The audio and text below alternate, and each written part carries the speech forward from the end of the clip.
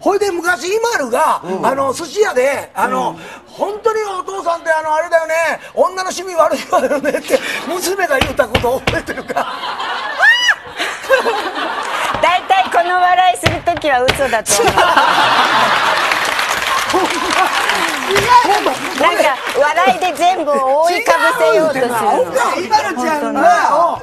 いやお父さんって本当に女の趣味悪いよねって。で大竹さんいた時に？あの大竹さんいる時に言いよったのや、その時は俺さすがに、今のそれはないぞって言うたよな俺は。あそう言われてみればそんな気違うが